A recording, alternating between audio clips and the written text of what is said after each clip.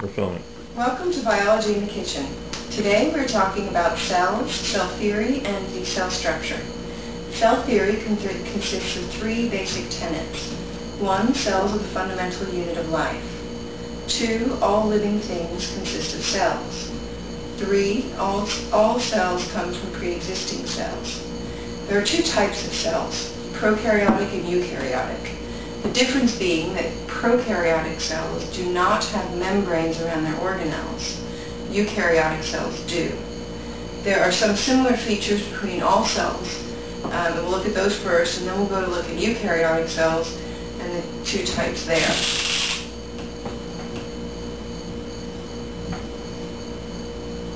So all cells have a cell membrane. The cell membrane is made up of a biphospholipid layer, which is two, um, two layers of phosphate fat molecules, with the heads being hydrophilic, the tails being hydrophobic on the inside of the membrane, the heads on the outside of the membrane.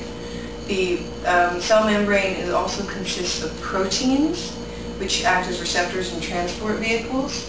Um, and the, um, the cell membrane is supported by the cytoskeleton.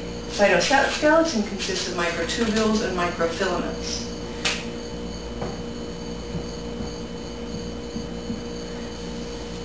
All cells also have a cytoplasm. The cytoplasm is a fluid that fills up the interior of the cell. All cells have DNA, and all cells have RNA, which produces protein, which all cells also have. Now, looking at eukaryotic cells, we have plant cells and animal cells.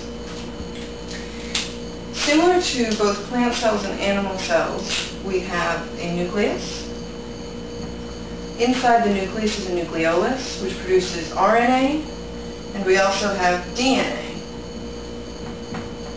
which is the genetic library for all cells. Directly following the nucleus, we have the endoplasmic reticulum, which First, we have the rough endoplasmic reticulum, which has ribosomes on it, which produce prote um, protein. Following that, we have the smooth endoplasmic reticulum, which does not have ribosomes, and that produces fat. Now, the fat and the protein then move on to the Golgi apparatus, for packaging into vesicles for either use within the cell or outside of the cell. All cells also have a mitochondrion, which is the powerhouse of the cell. That actually produces ATP.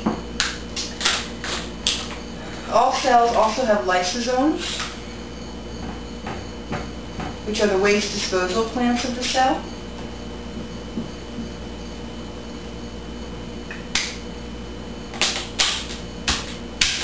Now, plant cells have three differences from um, animal cells. Plant cells have chloroplasts, which um, is where they turn and where photosynthesis takes place, and that those consist of sacs of thylakoid um, called grana.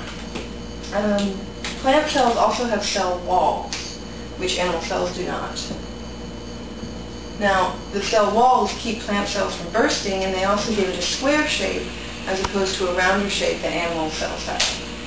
One other difference between plant cells and animal cells is that plant cells have vacuoles for water storage. One thing that animal cells have that plant cells do not are centrioles that are right next to the nucleus and are active during cell division. And that is the basic information on cell theory and cells.